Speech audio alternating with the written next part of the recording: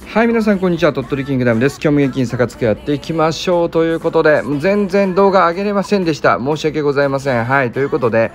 えー、っとこれですね戦術別スカウトを考察するというところでえー、っとサイドアタックも出しておりますね、えー、三重視来ていますがまあ、うん、超ガチ勢以外は回す必要はそんなないのかなというところプラス超ガチ勢に関しても、えー、この恐怖のえガチャをやっていって得られるメリットとしてはコスパはかなり悪いのかなというところでサイドアタック、えー、説明させていただきました。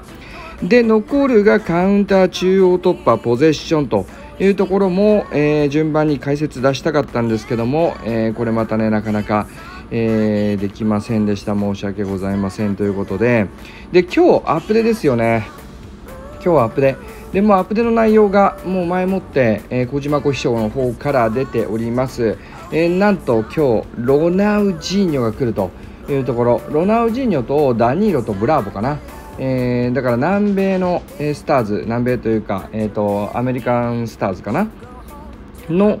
えー、選手たちの追撃が来るというところで、まあ、穴になっていた右サイドですよね、えー、右サイド、まあ、見ますか。どんな感じか。そうこの監督の考察とかもしてないわけでですよね。はい。あこれじゃない。ちょっとお待ちください。これか。はい。まあこんな感じですよね。エストゥピニャン、えー、アドリアーノカイセドとえー、メッシという感じで1234体ね、えー、南米の選手来ておりますが南米というかね、えー、アメリカ大陸スターズの選手、え作っております。私もしっかりとね作っております、えで、まあ、穴になってるところで言うとこのロイヤルですよねここ。で攻撃サイドバックが2人いるっていうねかなり攻撃的なピレイラ監督なんですが、えここにおそらく今日ダニーロが入ってくるだろうなというところですね。で、まあ、このジーコもしくはハーランドのところに、えー、ロナウジーニョが OMF で入ってくるというところです。なんでもアドリアーノ、ロナウジーニョ、メッシっていうね、とてつもないメンバーが揃うと、まあ、もしくはそこにジーコ、ハーランドね、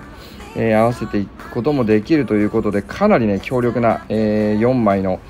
えー、攻撃陣になるのかなと。でそこに加えてサイドがね両サイドとも攻撃サイドバックということで、えー、かなり攻撃がね、えー、まとまってくるんじゃないかなと思います。で、まあ、こうなってくるとディフェンダーはまあ僕のチームでいうところのえー、これマンチェスターシティで染まってくるのかなと。だから、えー、ウォーカー、ロドリゴ、ディアスで守っていくエデルソンで守っていくという感じで残り攻撃陣がみんなアメリカ大陸スターズと。いう感じで完成しそうだなと思っております。はい。てな感じで、そうそう。で、一応ね、これ5名、えー、以上。ごめんなさい、間違えた。5名じゃないか。これね。6名以上の時ね、107%の最大強化になりますので、これ現在まだね、足りてないというところです。えーと、ハメスが出てはいますが、これね、ハメスはもうバンディエラのみの選手になりますので、まあ、使うことないと。ということで、えー、若干足りてないですよね、6名まで。だからこれがロイヤルのところがダニーロ加わって、ロナウジーニョ加わったら、まあ、ぴったり6名と、えー、いう感じで、最大の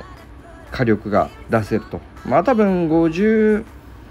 54万とか、うーん、まあ、いろいろ試せば55万、6万いくかなぐらいの戦力値になるんじゃないかなっていう感じですね、完成したら。はい、ということで、まあ、あのこれはいいとして、で、今日アップデが来るんで、これを置いとくとまたこれ、絶対ね、動画撮れないんで、まとめてちょっとざっくりお話しさせてください。はい。なんで、まあ、ちょっとこれね、カウンターだけレアタブなんですよ。えー、イベントタブがありません。ということで、まあ、僕の選択としては結論、カウンターだけ、え、引きました。いつもね、もう結構結局4000術全部マックス生かされるんですけど、今回はね、もうぶっちゃけ本当にちょっとなんだろう優しめというかね、えー、そこまで追う必要が僕的には感じられない、えー、戦術別だったかなというふうに思います。ということで、えー、カウンター回してます。そのカウンター見ていきたいと思います。はい、こちらですね。運営さん、これね、あのブラックアウトというか、このね、デルピエロだけ黒くしている意味はね、あるとしたらね、先に告知した時だけですよね。同時実装でこれ出されてもっていう感じはありますが、はい、さあ来ましたカウンターはこちら、えー、リバプールの追撃という感じになってますかね。はい、えー、ヌニエス来ました。はいダルウィン・ヌニエスですね。まあ今日ちょっとね短い時間で、えー、全部ねあと3戦術やっていかなきゃいけないのでざっくりお話しさせてください。もう強いか弱いかだけでいきます。もうぶっちぎりで強いです。はい。ダルウィン・ヌニエス、めちゃくちゃ強いです。もうこれね、使用感で言います。もうね、僕取ってます。使ってます。めちゃくちゃ点取ります。はい。まあ、ラインブレーカーどうなのって、まあ、思われてる方多いと思いますが、もうね、度外視で強いですね。まあもちろん、えー、シュート数値もね6000でドリブル数値も、えーとまあ、4000弱という感じで、まあ、しっかりとシュートもできてドリブルもできてで精神力が3700でかなり高いと。でトラップキープも高いので攻撃成功度も高いと。でフィジカルが高いので競り合いも強いところに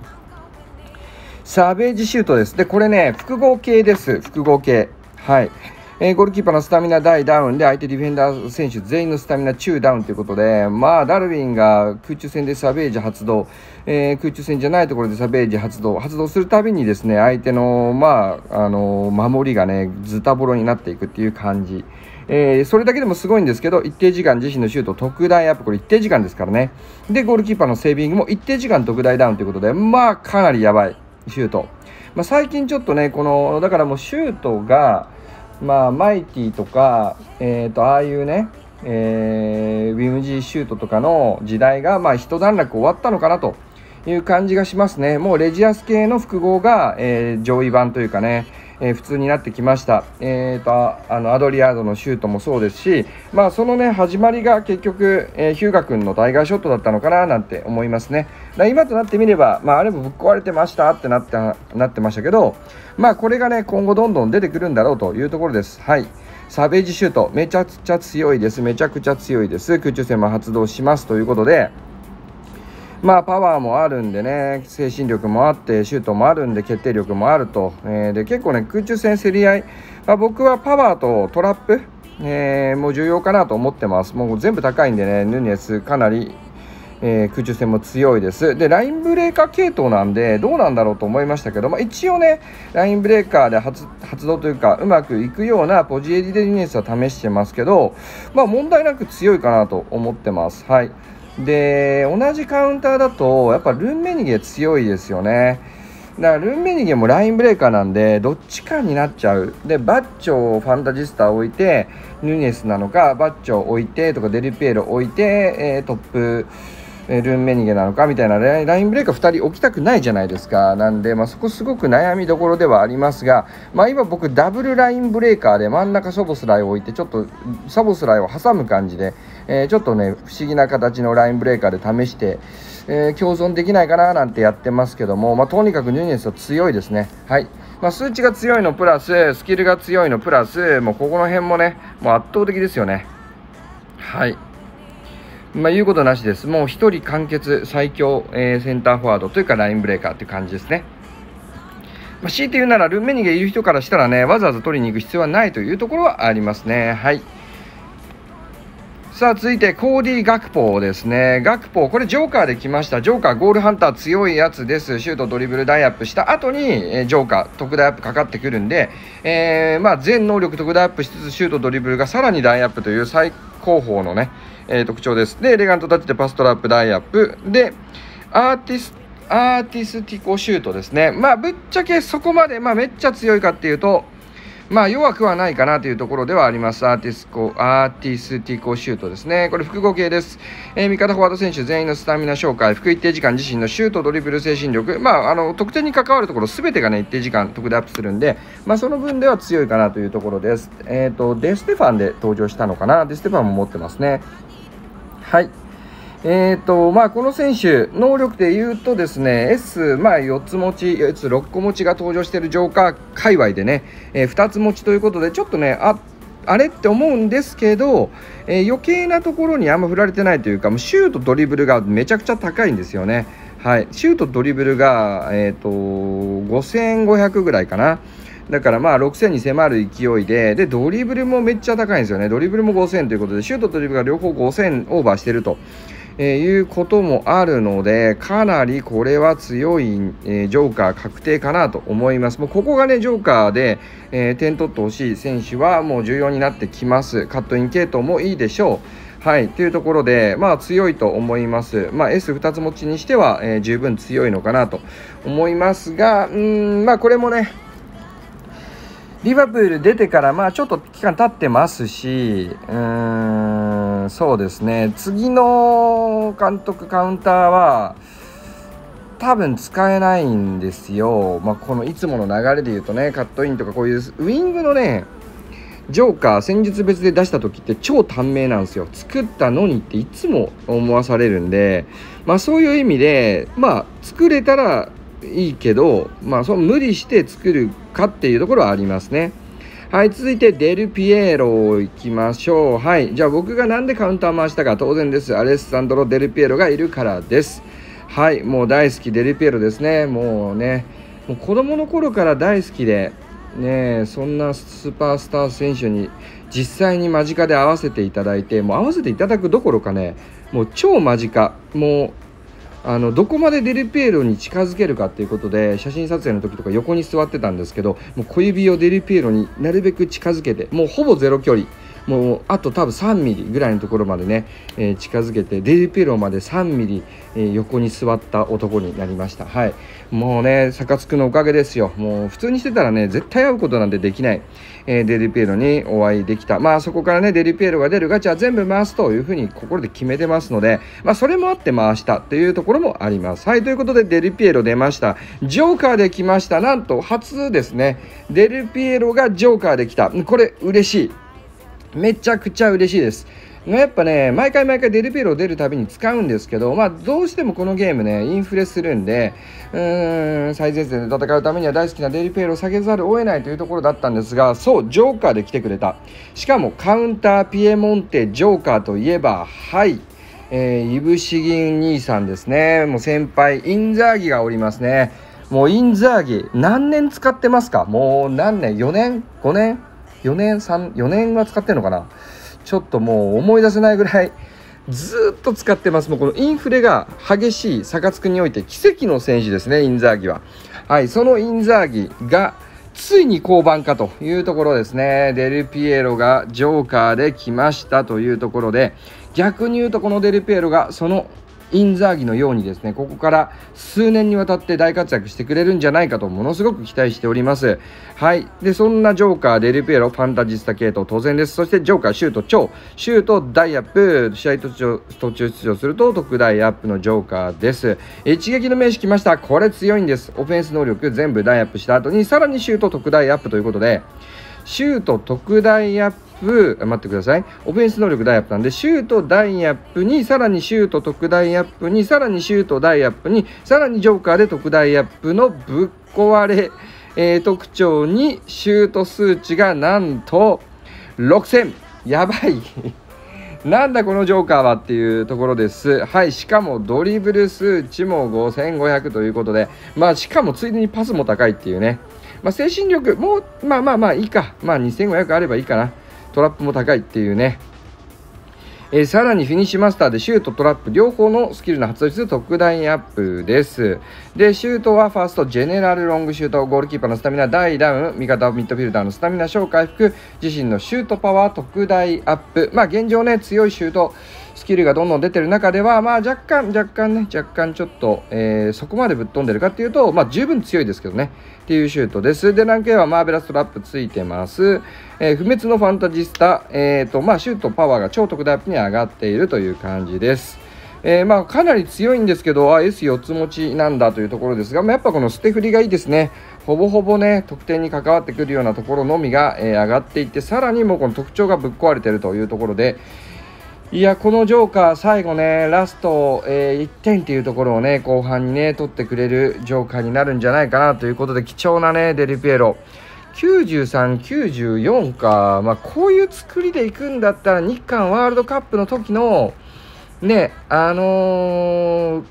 途中出場して得点取って、えー、亡き父に捧げる、あのー、ね、天空への投げキッスのね、あの時のデルピエロという形のジョーカーでもまあ、こうファン的にはね良かったのかなとは思いますが。はい、えー、まあ嬉しいですね、えー、アレッサンドロ・デルピエロジョーカー来ましたと。はい、えー、続いてロバートソンいきましょう。ロバートソン、えー、ロバートソンはもうこれねめちゃくちゃ強いです。はい。S6 個持ちで全部がまあそのサイドバックに必要なところですよね。タックル2つ S ってこれでかいです。もうサイドバックとにかくね取りきれるか取りきれないかでもうその後の失点力失点率が全然違ってくる。でそこにおいてドリブルとパスも S っていうことでもう攻撃も守備もできるというところ。えさらにはディフェンスキーマンついてます。これ強いですね。センターはバック右左の配置したカウンターの選手のタックル特大アップ、さらにタックル特大アップ、これね、さっき言ったみたいにタックル刈り切れるかどうか重要です。そこに特大アップ、さらにパスカット、ショーアップにタックルスキル、発動率、大アップ、めちゃくちゃ強いと思います。後方のドリブラーも強いです。ドリブル特大アップ、ディフェンス能力全部大アップ。ブレイクデュエルということで、ドリブルスキル、タックルスキルの発動率、特大アップ、強い。そして新スキル来ました。チャリオットタックル。はい、これね、めっちゃ強いですよ。相手フォワード選手全員のスタミナ中ダウン。まあ、これもありがたいですね、地味にね。で一定時間自身のタックル特大アップ、相手フォワード選手全員のドリブルキープ特大ダウンということで、まあ、デスパレートタックルに並ぶか匹敵するか、まあ、同じぐらい僕は刈り取り率高い目のタックルなのかなと思いますね。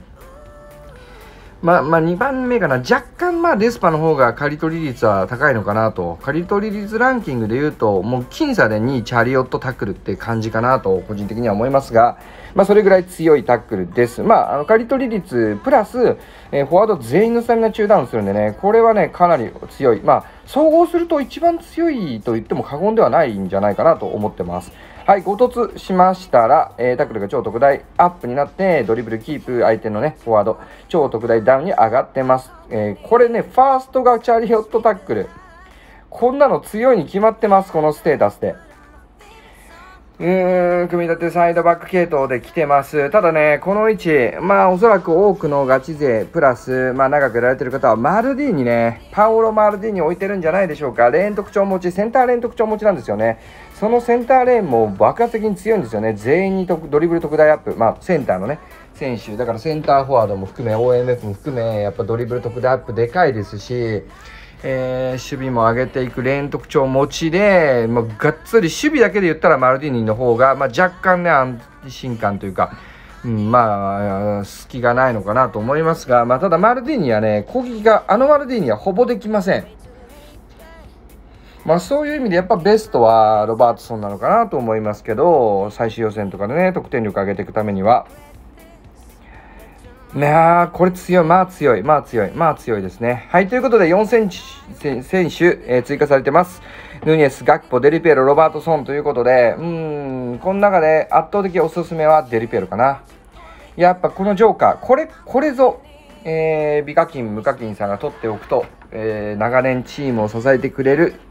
ジョーカー、デルピエロじゃないかなと、全戦術で使えて、うん、全戦術でおそらく、えー、しっかりと活躍してくれる。しかも、インザーギのようにね、長年チームを支えてくれるんじゃないかなと思います。大当たりデルピエロ。で、まあ、左ね、えー、マルディーニがいない方は当然ロバートソン、バチッとはまりますし、うーん、ガクポは無理する必要はないかな。で、ヌニエスは、まあ、ここもね、えー、いい選手持ってる方多いと思います。デルペーロ、バッチョ、え、ー、と、ルンメニゲ。うーん、もっと言うと、他にもね、過去にもいっぱい出てるしね、わざわざ取っていくほどではないのかなとは思いますが、まあ、使用感めちゃくちゃいいことだけお伝えしておきましょう。はい。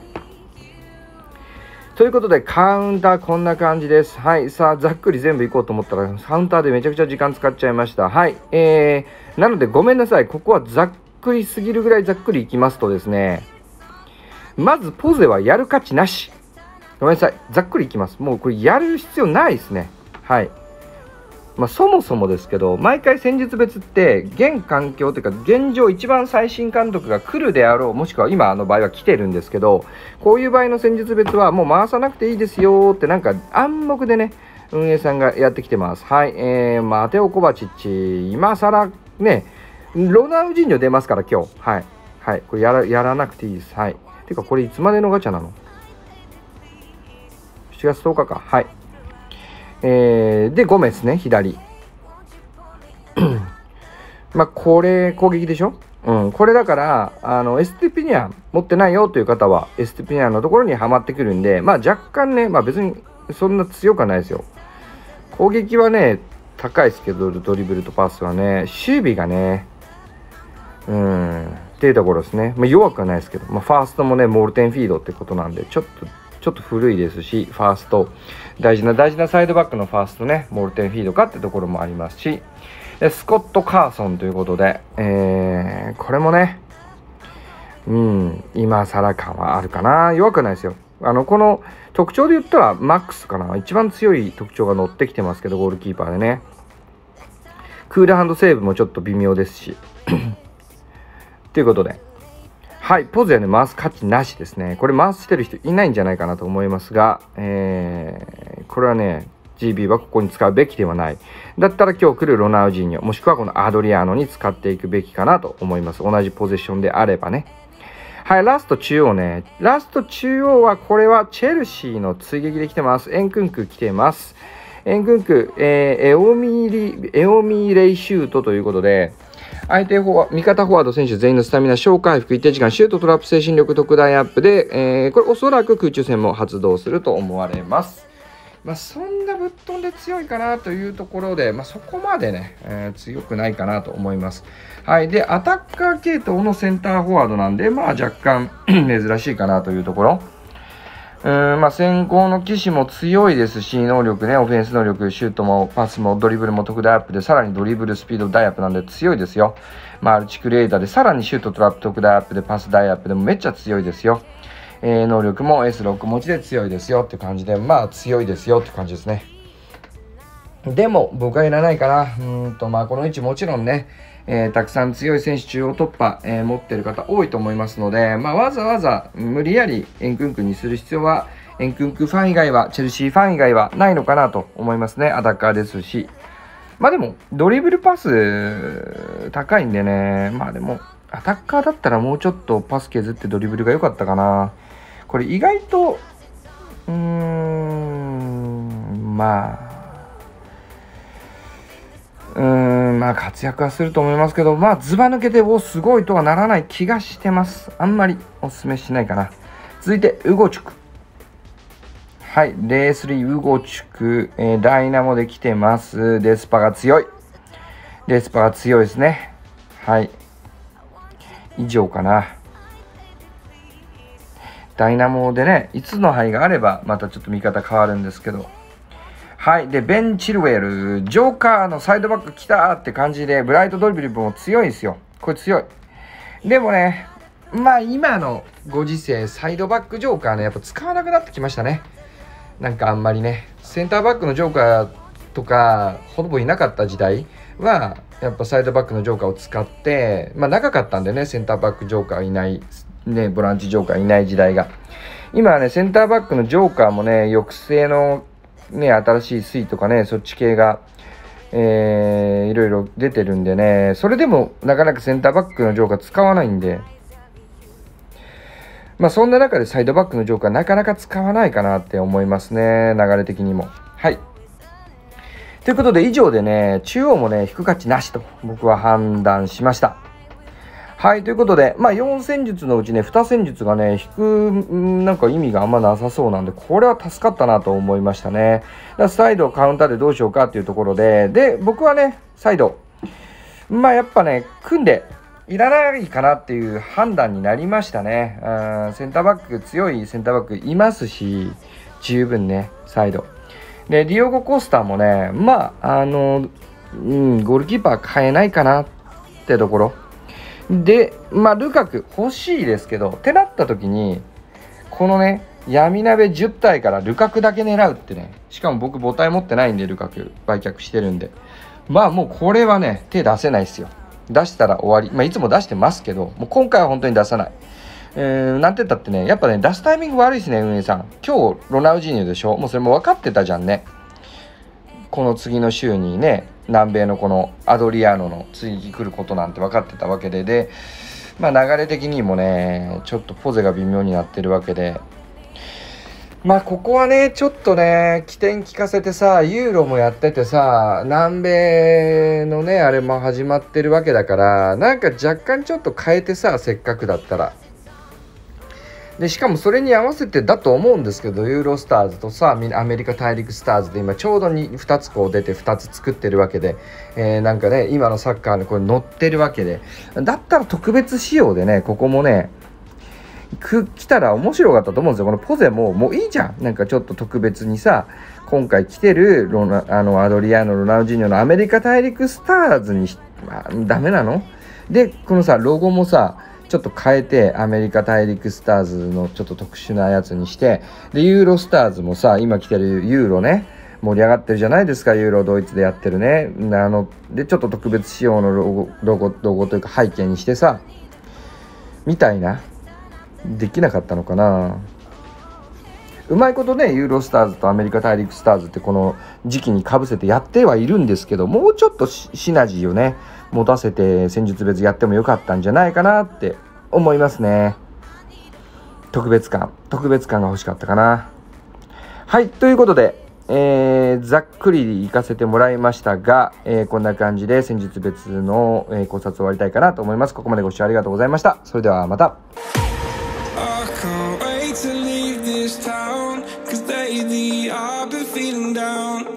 The cold nights just don't feel the same Ooh.